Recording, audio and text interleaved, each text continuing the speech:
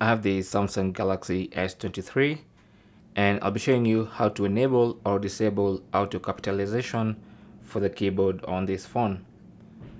So if you go into settings on your Galaxy S23 that's the main settings page and then scroll down to general management tap on that and then under that go to keyboard lists and default right now depending on what keyboard you're using if you're using the Samsung keyboard simply tap on Samsung keyboard and then look for more typing options. Tap on that.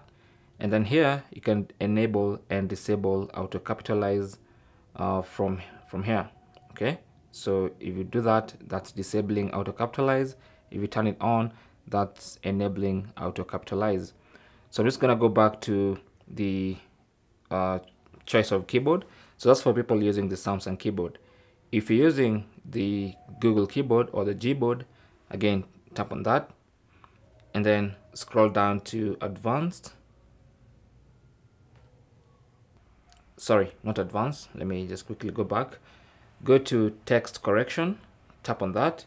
And then here you can scroll until you see the auto capitalization.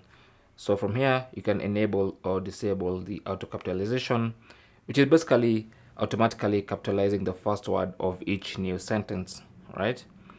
So that's how to do it on the Google keyboard. Thanks for watching. Leave your comments and questions down below and good luck.